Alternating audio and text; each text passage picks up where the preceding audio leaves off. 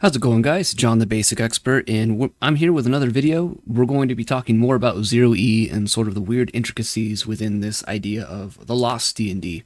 This idea that the game has sort of changed and evolved, for better or for worse, from what it originally was in 1974. And I think this is a given and no one would deny this, but I wanted to kind of focus within this video series on some of the weird things that I've discovered that I think would be surprising to modern gamers, and again, even to old school grognards who maybe haven't read the rules in a while or have for years played a heavily homebrewed version of the game.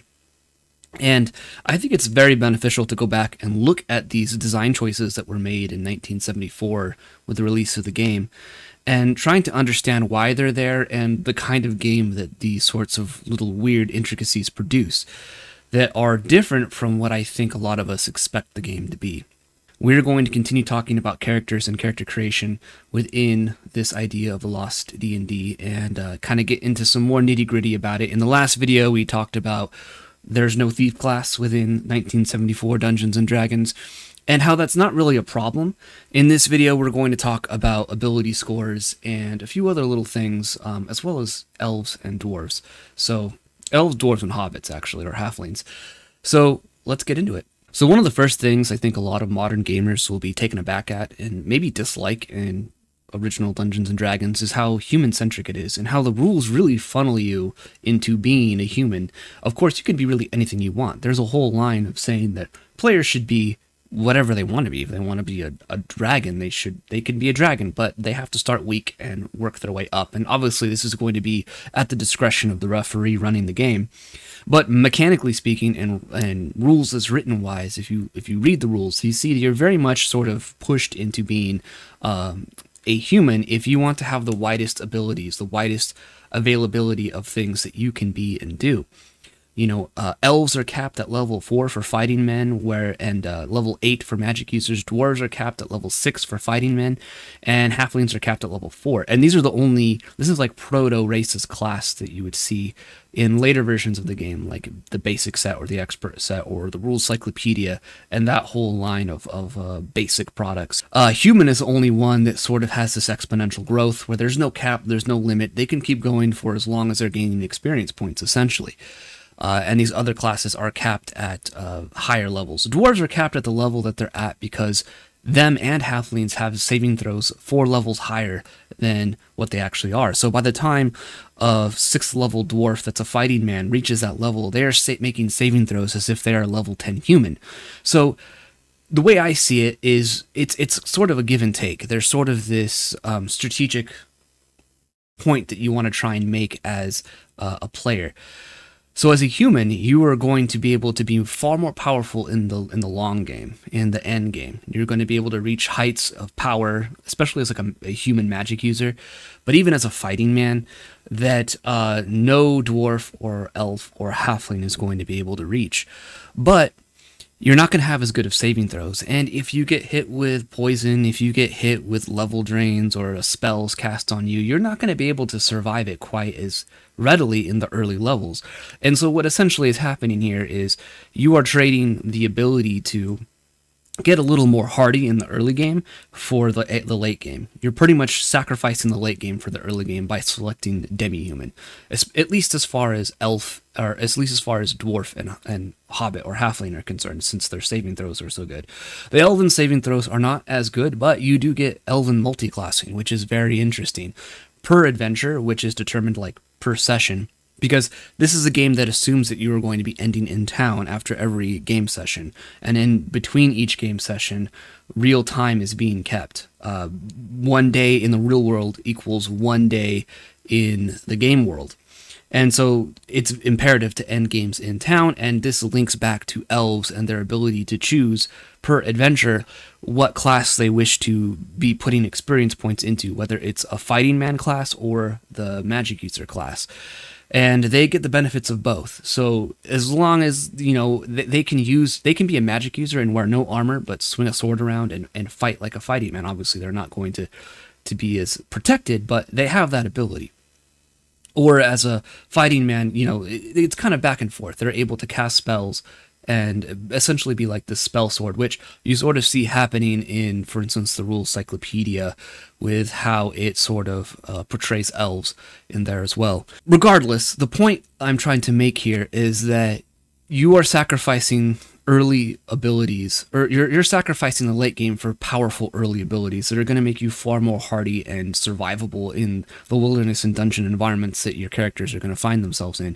And for me, this is another interesting point, is when you're looking at the character classes and you're looking at the level progression, you have what is fighting capability, and I've talked about this before.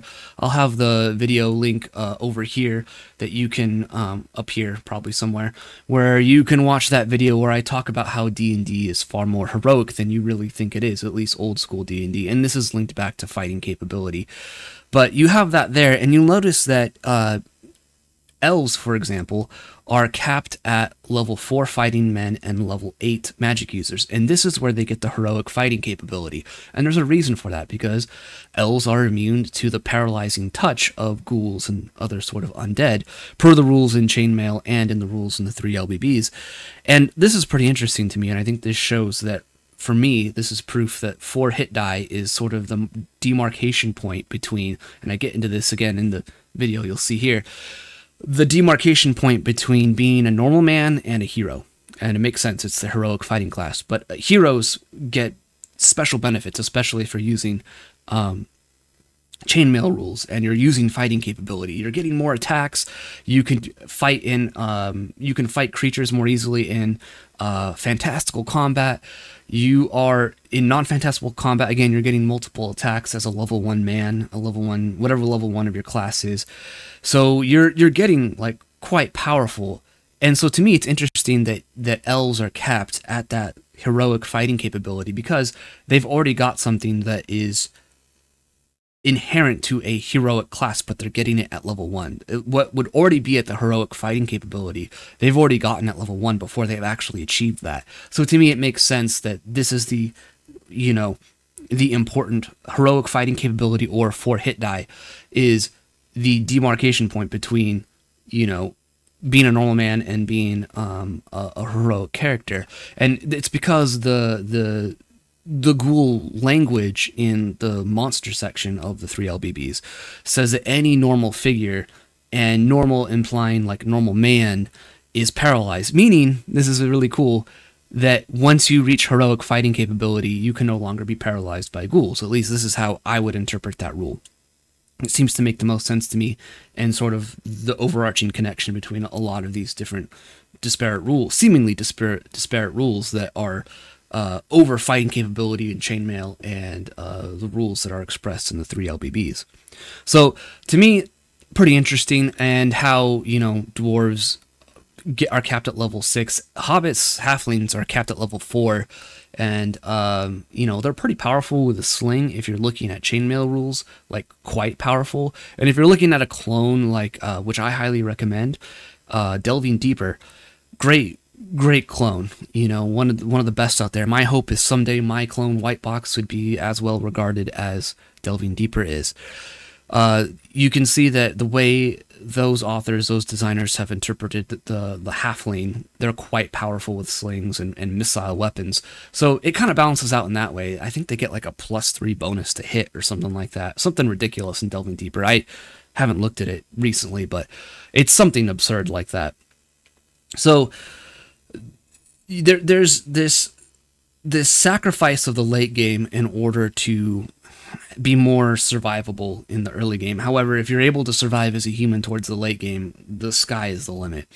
And you also have more classes open to you. So again, like I said, we have this proto-race-as class thing where halflings can only be fighting men, dwarves can only be fighting men, and um, elves can only multi-class between fighting men and uh, magic users. They can the only the only race that can be a cleric are humans, which is super interesting to me. Uh, and this kind of goes in line, in my opinion, with um, sort of the the religious imagery that is within the rules as well. One other thing that is super interesting, and this might really annoy uh, modern players and even a few quote unquote old school players as well who don't like this as well, who might be more familiar with uh, the BX rules or, or AD&D first edition or even second, really anything after. after 1974 original Dungeons and Dragons, is that it says uh, on page 10 of book one, under determination of abilities, it says prior to, to the character selection by players, it is necessary for the referee to roll three six-sided dice in order to rate each as each as to various abilities and thus aid them in scaling and selecting a role.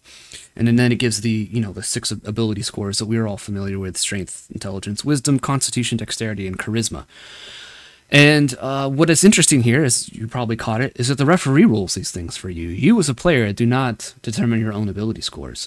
Uh, much like how you couldn't determine your genetics when you were born, uh, the referee is you, the one determining your ability scores. You do not get to pick. And I, I, I find that in Zero E this still works really well with ability scores because ability scores do not really. It's not that they don't do a whole lot. Uh, they don't do as much as they do in later versions of the game, even within the Greyhawk supplement, which put a little bit more emphasis on what your ability scores are, and by extension, started, I think, with Greyhawk, this idea of this building a character concept that I think is mostly unknown within a true 1974 3LBB plus chainmail um, zero E game. Because, for instance, all strength does, it does not give you a bonus to damage, it does not give you a bonus to hit. All it does, if you're a fighting man or any other class, is you can swap points two for one uh, for the purposes of XP bonus calculation. That's it. Uh, so if you have a high strength as a fighting man, you're going to level up quicker, which does mean you'll start hitting things better. But you're not going to be dealing extra damage. You're not going to be having higher probabilities of hitting with a higher strength score. Uh, dexterity does grant you, if you have a score of 12 or more, a plus one to missile attacks uh, and a minus one to missile attacks. So if you have a 12, you get a plus one. If you have a nine or less, you have uh, a minus one. And uh, Constitution does give a bonus of plus one per hit die on your hit points uh, for a Constitution score of 15 or more, and a Constitution of six or less. Uh, you get a minus one on all of your uh, hit point rolls, your hit die rolls for determine your, your hit point totals. And you can see that while these scores do affect things, it is far more gracious than, let's say, looking at even AD&D First Edition BX, or even in modern games like uh, Fifth Edition, where you know we have to have modifiers up to plus five and minus five or whatever it is, you know, and so when that happens, when you have to scale more modifiers over what your ability score is, you end up having to you you end up as a player wanting to build a character. You end up wanting to have point buy systems. You end up wanting to be able to roll just six numbers and put them where you want because you want to be able to start building a character. Whereas with OD&D, you're sort of given these scores and like even if you have suboptimal scores, let's say you have a strength score of nine, it's like okay, well, I have a strength score of nine. I want to be a fighting man. Uh, nine is average. It's not going to be the end of the world. Whereas in later editions, if you had a strength score of nine, you're going to be looking at other scores and being like, what what would be better than a fighting man at this point, or a fighter? Maybe I want to be a ma- maybe my intelligence is higher. I want to be a magic user. Whereas you could, if your intelligence was higher in OD&D, you're perfectly capable of still being a fighting man. You don't have to go the um, the the magic user route. And even the the example character on page ten shows the player that, as an example, selecting something suboptimal because it's what they want to be, and they're not going to be necessarily punished for it as me- mechanically as they would in later editions.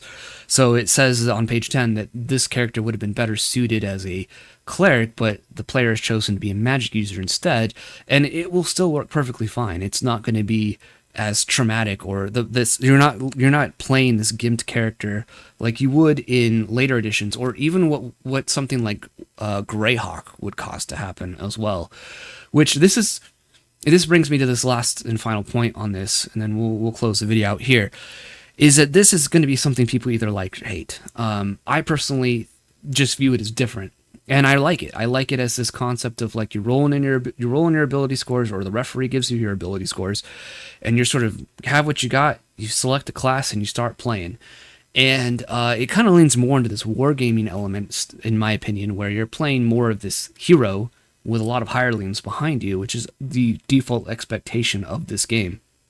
As charisma is very useful in, in having uh, retainers and you're giving you're given day rates in later parts of these books for uh, various sorts of hirelings like footmen and whatnot of various races based on you know you could even hire orcs if you wanted to uh, but for like dwarves elves and then generally humans are the most prevalent sort of hireling that you can find as far as um, npc followers. I, I rather like it. I just view it as different. It's just as different way of playing. And I haven't found that it sort of uh, affects immersion in the game. Um, it doesn't affect tactics as much. And it really frees up players to really play the kind of character they want to play, in my opinion, rather than being so dependent on and worried about the mechanics of the game. The the ability scores perform the bare minimum. And at worst, it's like, okay, I'm not going to level up as quickly, but I really want to play a magic user this game. And so I'm okay with not leveling up as quickly as a magic user. I'd level up quicker as a cleric, but, you know, the party needs a magic user, maybe. Maybe the party's like, we need someone who can cast sleep at level one, you know. Uh, we already have a cleric, and this person's already better suited to be a cleric, so we would love it if you were a magic user. you know, for the party, so that maybe we have a uh, someone who's able to cast spells from the back there. And you know, I, I think that that's cool. It, it, creates a situation where players are able to be what they want and they're not so beholden to this build a character concept that would get out of control in, in third edition and 3.5 and to some degree is a problem in um, in, in fifth edition still. And I know I said it'd be the one final thing, but one other thing I'd like to talk about, and this kind of harkens back to the previous video with the lack of thieves and the lack of stealth abilities but there's still other mechanics that can be used, is that I really truly appreciate that this is totally a class based game. I think that, in my opinion, the addition of skills on top of a level based system is a mistake. And I think that it creates this too much bloat mechanically within the game and therefore it, it causes a, a lot of problems. And I think that Zero E just not having skills at all and having that dialogue with your referee, and again, you know, like I talked about in the last video, you can use mechanics already inherent in the game in order to determine if uh, a character wants to do something or not, if you want to leave it up to the chance of the dice. It's not impossible to look at the rules, and again, like I said in the last video, use surprise in order to determine if someone is stealthy or not and um, it's not impossible to to apply you know a modifier to a reaction roll for someone with a high charisma score for example. Um, so th- those are just things to consider and i think it ultimately works better for zero e that it doesn't have skills um, as opposed to something modern like fifth edition or this new edition of 5e that's coming out where uh, there are skills. And I, I just think it kind of muddies the water and leads to this idea of building a character which is just wholly absent from zero e. And it's a very refreshing take on on the genre and on the game in my opinion. I think especially if you come from a more modern mindset uh, it might be a little scary. It might be a little you're like, I don't know if I like this, but ultimately, I think once you get into the groove of it, um, the the simplicity and yet it's simple yet com- complexity of Zero E uh, definitely scratches every itch that you could want in a game, in my opinion. Uh, so I, I think that I, I just appreciate that it's just a level based game. There's no skills. The ability scores do they, they do enough to make them matter and want to roll them, but they're not so much that uh, it bogs down the game in this character creation game. Um, so that does it for this video, guys. I hope that you found this interesting, that ability scores don't really do a whole lot. They do enough. And that um, this is a very human-centric game. Uh, you can be a demi-human, but you are sacrificing the late game for surviving in the early game. And these are all different, like, unique things that I think are just solely lacking, completely lacking in a lot of modern games. And and some of these things are even removed from clones or reinterpretations of old rules. And I think that's more to the detriment of the experience of the game rather than than an improvement in my opinion. But that's just my opinion. Tell me what you think in the comments. Like, subscribe, share the video. If you want to support my channel, you can do so here on, on YouTube, although I prefer if you did it on my Guilded server or on Subscribestar. Links to all that will be in the video description below. Thanks for watching, and I'll catch you guys in the next video. Peace out.